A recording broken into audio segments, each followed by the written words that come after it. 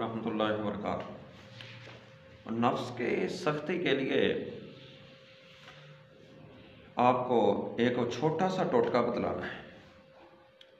आसान भी है, पैसे भी कम लगेंगे और नफ्स के अंदर सख्ती बहुत आ जाएगी।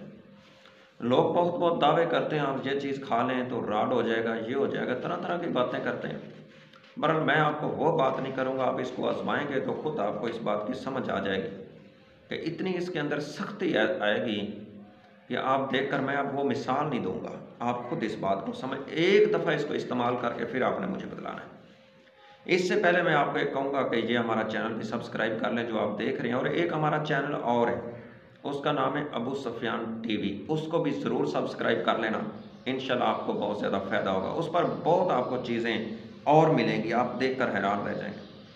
आइए मैं आपको अल्लाह तनासिल को सख्त करने के लिए छोटा सा टोटका बतलाता हूँ, जिसका फ़ायदा बहुत ज़्यादा है। वो है हिंग। हिंग आपने लेनी है मुनासब मकदार के अंदर, थोड़ी सी ले लें। इसको लेकर के ना खालिश शहद ले लें, इसके अंदर इसको मिला लें, हल कर लें। हल करके आपने आला तनासिल के ऊपर ना इसका अच्छी तरह मसाज करें। मसाज करने के बाद ना इसको तकरीबन 15 से 20 मिनट बाद धो लें।